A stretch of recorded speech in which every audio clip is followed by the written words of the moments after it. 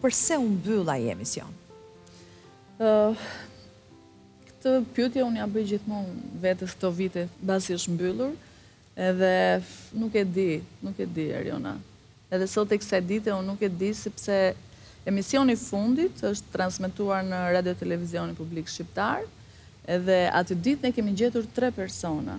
Dhe domethënë menjëherë të nesërmen mua më ka ardhur Ish drejtori i RTSH-së në atë kohë, drejtor i komanduar, edhe më ka thënë që nuk do ta vazhdosh më emisionin.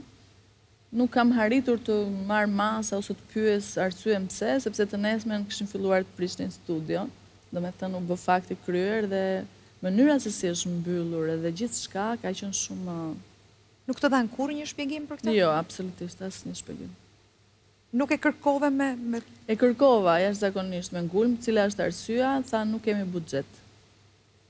Po flas hapur se meqë jemi. Po këtu thuhen gjërat hapur, po pikërisht. Pra arsyeja ishte mungesa e buxhetit.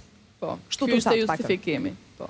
Ishte justifikim mendon? Pra kishte një arsye tjetër mendon? Patjetër që po, sepse emisioni ishte shumë i ndjekur, kishte sponsor, se ne jemi në televizion dhe po. e dimë se si funksionon. Kështu që mendoj se ishte diçka tjetër, që as sot e kësaj dite nuk kam arritur ta zbuloj përse.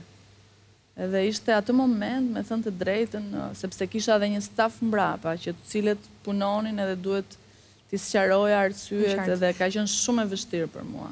Tentove të shkosh diku tjetër, ta rihapësh emisionin diku tjetër? Dhe çfarë ndodhi? Nuk më hapën dyert.